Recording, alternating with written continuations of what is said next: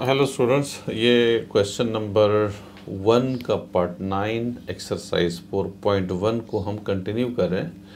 और इससे पहले हमने बाकी क्वेश्चंस किए हैं। यहाँ पे हम फ़र्स्ट प्रिंसिपल को यूज़ कर रहे हैं। फ़र्स्ट प्रिंसिपल की मदद से हम डेरिवेटिव निकाल रहे हैं। तो इसका सोल्यूशन हम स्टार्ट कर लेते हैं। लेकिन सोल्यूशन से पहले प्लीज़ अगर आप लोगों ने अभी तक सब्सक्राइब नहीं किया तो प्लीज़ सब्सक्राइब करें और जो बेल आइकन है उसको भी दबा दें ताकि आपको जो वीडियोस हम अपलोड करते हैं, आपको टाइम पे मिलती रहे।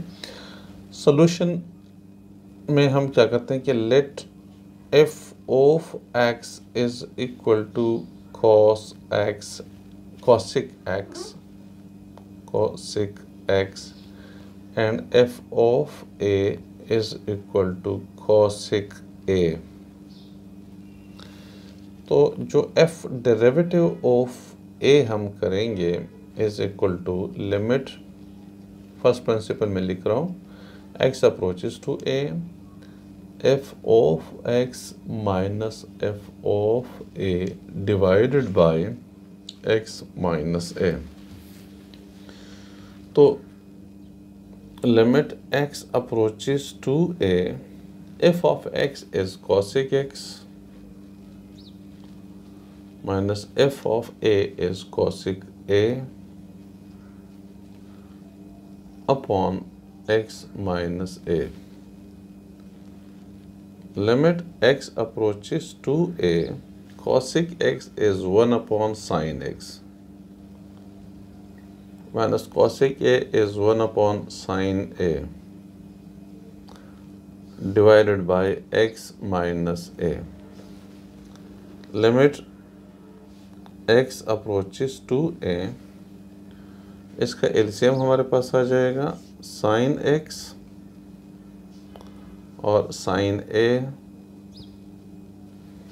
ये sine a minus sine x divided by x minus a तो limit x approaches to a sine a एक फार्मूला है, sine u minus sine v is equal to two cos u plus v upon two. First year में है ये formula और sine u minus v upon two. ये formula है तो ये formula exactly sine a minus sine x is equal to two cos a plus x upon two और sine a minus x upon two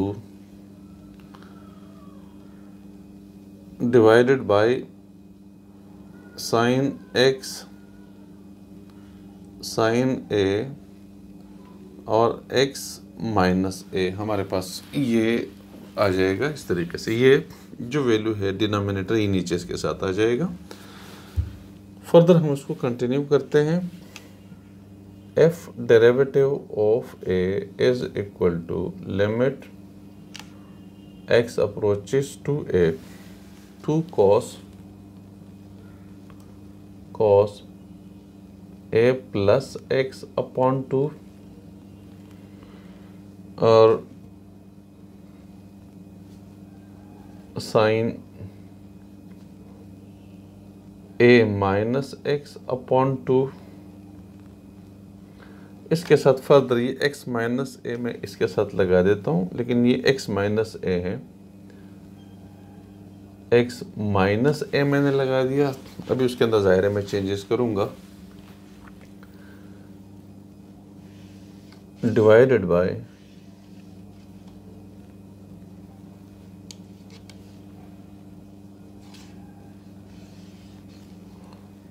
sign x और sine a. ये। F derivative at a is equal to limit x approaches to a, two cos a plus x upon two, और sine a minus x upon two. इसमें एक चीज़ हमने इस x minus a को a minus x upon two बनाना है ताकि ये one हो जाए। तो a minus x upon two इस x माइनस ए को मैंने ये बनाया। क्या क्या, किया मैंने? एक तो माइनस कामन ले लिया इसमें से। मैंने माइनस कामन ले लिया। माइनस से ये x minus a x minus a था। अब a माइनस एक्स बन जाएगा। एक मैंने इजाफी टू लगाया हुआ है तो उस टू को मल्टीप्लाई भी कर दूँ।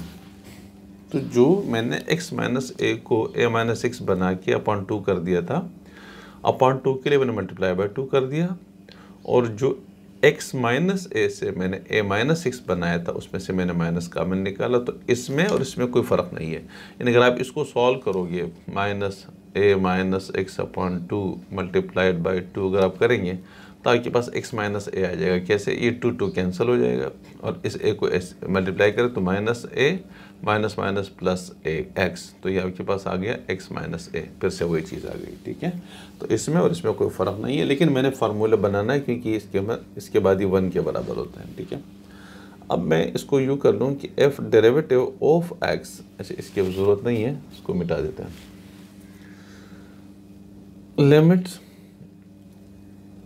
x approaches to a सबके लिए अलग अलग कीजिएगा two cos a plus x upon two और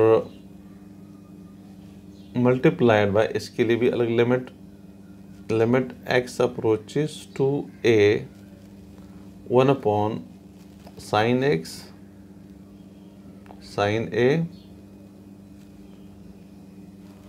multiplied by limit x approaches to a or sin a minus x upon two अच्छा ये टू ये टू और ये टू कैंसिल हो जाएगा तो ये टू तो आप हटा दीजिएगा इसमें से। ये माइनस बिल्कुल शुरू में आ जाएगा तो आप इसको, ये माइनस को बिल्कुल शुरू में कर दीजिएगा, ये माइनस और ये limit x approaches to a ठीक है? ये माइनस शुरू में आ जाएगा। ये टू टू के साथ कैंसिल हो गया तो टू को हमने कैंसिल कर दिया। इधर माइनस पे नहीं लगाऊँगा। X minus a upon two और ये भी आपके पास a minus x upon two sorry ये वाला, इस तरीके से। ये आपकी बड़ी आ जाएगा। ये इक्वल हो जाएगा वन का। इक्वल हो जाएगा वन का। तो मेरे पास आ जाएगा। अप्लाई लिमिट कर लेता हूँ।